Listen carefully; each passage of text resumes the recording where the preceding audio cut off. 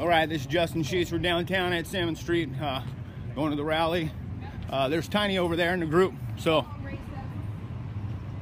I guess we're being called racist already. Some lady just called me a racist. Doesn't even know why I'm here.